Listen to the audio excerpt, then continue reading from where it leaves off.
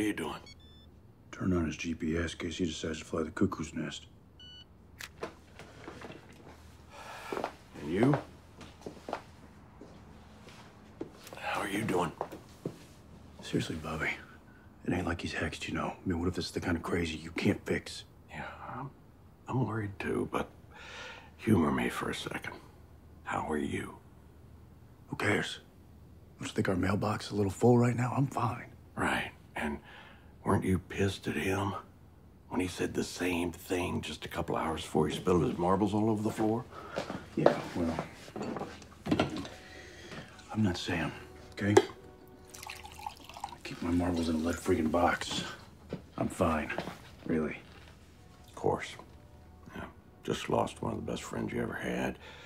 Your brother's in the bell jar, Purgatory's most wanted for surfing the sewer lines. But yeah, yeah, I get it, right? You're you're fine. Good.